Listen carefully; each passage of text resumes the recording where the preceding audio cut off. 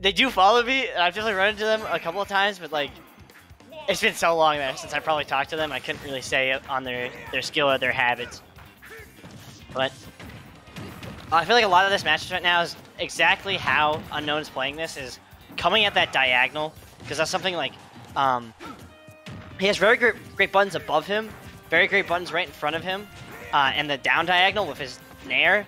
But if you come up like an up diagonal, he, uh, it's it's kind of hard for like Roy to really deal with it. And that, that's what we're kind of seeing is that that fair is just kind of getting unknown right on top, uh, like right on top of um, King Stitch. Wow, yeah. Okay, cool. All right. But yeah, a, a big thing there is that King Stitch wanted to try to uh, saw that he was pre pressuring around the shield, so he tried to do that aggressive up to land on uh, like land on that platform. But even landing on the platform, it still has a decent amount of like end lag, and without Chroms like landing hitbox, it can be really bad. Yeah, man. All right, so yeah, I, I had to fix audio once again because no one could hear me. I just wasn't oh, talking. Okay. And you couldn't hear me because I literally wasn't talking. I was sweating. But I'm pretty sure everyone yeah, no, should no, be able no, to hear me now. I, I assumed as much. I, I okay, just, cool. I just kind of went on plan B. I'm like, all right, looks like I'll do a little bit of Soul Calm for a second, but. Yeah, all right. But anyways, so, all right, what's going on? It looks like Unknown is actually, uh, I'm calling, I've got spot wrong anyways, but it looks like Unknown's actually popping off right now. Um, and this is, this is nice, man, because we didn't really get to see a whole lot of Sheik online, um, for good reason. Even offline, kind of not a great character. But like honestly, like when you see the character represented, even at like top level, like seeing Void, it's a lot of work. But like there's definitely potential in the character. I mean, even even this. I mean, I know it's a winners round two we're talking about, yeah. but I mean, Unknown looks pretty sharp here, man. I mean, he's currently, you know, on the cusp of a 3-0, uh, you know, three stock here, but Really does, does finally get that good anti-air. I I almost feel like she's kind of like, uh, especially for certain, certain swordies, almost does like the the Diddy thing where like your, your air to air buttons and like air to ground buttons are just so strong that you can kind of actually land into a sword. And like since since Roy doesn't play like a traditional swordie, he doesn't actually have all that range of a swordie. So like it, it it's even more apparent in this matchup because not only does Sheik have slightly faster buttons than you, but actually can make more, more use of those buttons since you have a much uh, more effective range on, on each on each swing. Yeah, and this is where it gets kind of weird for Sheik, just because you know not only is Roy at max rage and and you're a light character, but like a lot of straight hits from Sheik aren't going to kill, right? So a lot of characters yeah. at this high percent, you're just okay. All I need to do is catch a back air, this, that, the other thing, even F smash. Like Sheik F smash, I don't even know if that would kill right now.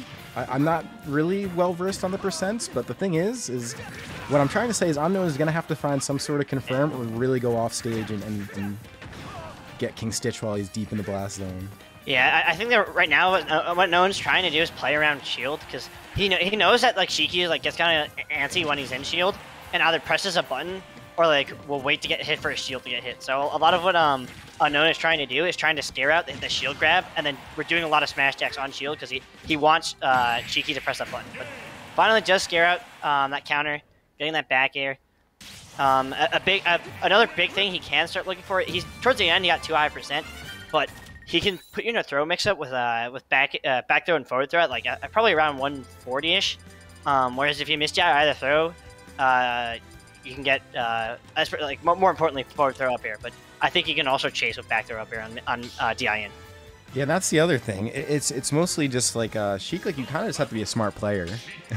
you have to really be able to react to your opponents, let alone kind of read what they're gonna do, and then on top of that, you know, then then it's actually landing what what what you're trying to set up. So in either case, it doesn't really look like unknown is uh Really struggling here, so we'll, we'll, see if he's able to keep going with um, what could be potentially 2-0 here. Uh, mm -hmm. a, a, rough round one for King Stitch. And I, I do like how King Stitch recognizes that that uh, that IDJ forward air what um, Nair wasn't actually true combo. It's a it's a a pseudo frame trap because if you if you do air dodge any direction, you can chase it with an air. But if you have a fast enough button like right up here, you can always beat it out. So good awareness on there, but I, I just feel like King Stitch keeps just you know uh, like trying to fight his way out just uh, out of these juggle scenarios. And Unknown is such a solid like you know defensive player that he just won't. Oh, he almost got range drop, but such a solid defensive player that he won't really let like he'll very rarely, if at all, let you get away with that. Yeah, Unknown is like this is the cool part about offline again is is we could kind of talk about these things. Unknown's a very veteran player, right? Has been around since early Smash. Oh my lord. Yeah, that, that, that's the thing I was looking out for, because like, with all this rage, it's actually was starting to slide into Roy's favor, because as you're saying earlier, like trying to you know get those get those stocks. But uh, go on with what you're saying. I didn't mean to cut you No, off. all I was gonna say is like, you know, you could rely on unknown to essentially, you know, be effectively read an opponent and execute accordingly. But uh, it looked like King Stitch was kind of tired of hearing what I was saying and kind of ended things quickly, but still pretty manageable here for King Stitch. Had a little bit of a lead going on, but now just looking to land any kind of hit and does get it. Yeah. Tries to yeah. Uh, th- th- that's a, that's another thing. Is like King Stitch is like a lot of players. Uh, they'll, they'll get their combo, but then rather than like either re, uh, like reset and get positional advantage or do it much safer, a lot they, they keep going for the big read.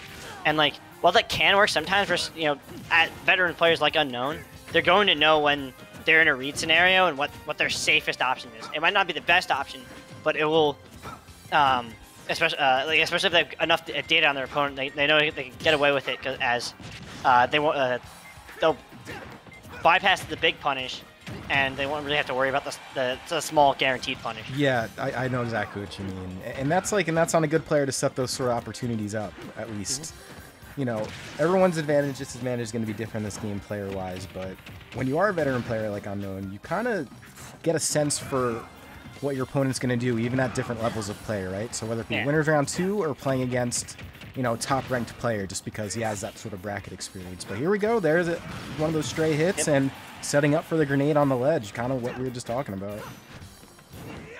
Yeah, right, not being able to like consistently like play around the play around the ledge or even like snap it all, all too often really really hurts him as a character, and that's like one of the major reasons why I do think Chrom is a little bit better is because um, he has a, has a lot more mix-up potential on his up B at the trade of never being able to sweet spot. But Alright. there we go. Does get that um, that scramble forward tilt, catching the uh, attempt at uh, the reverse.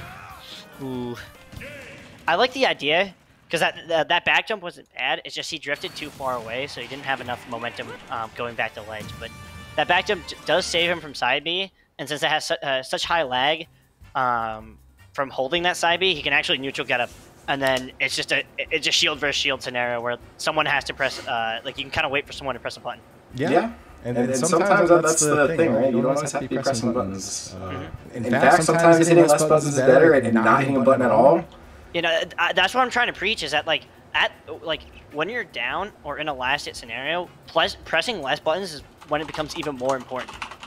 Because like Yeah. everybody tunnel vision is like, oh, I have to get this leader. I have to close out this stock, and you're just opening yourself out. Where like, if you can get your opponent to think that, you're at a way higher chance of winning, because you have all this like free conditioning and mental game to play around with, and you know sometimes playing on your back foot it isn't always the worst thing because it whiff punishing is all about uh, you know just stepping that half, making that half, uh, the half step back, so they land right in front of you.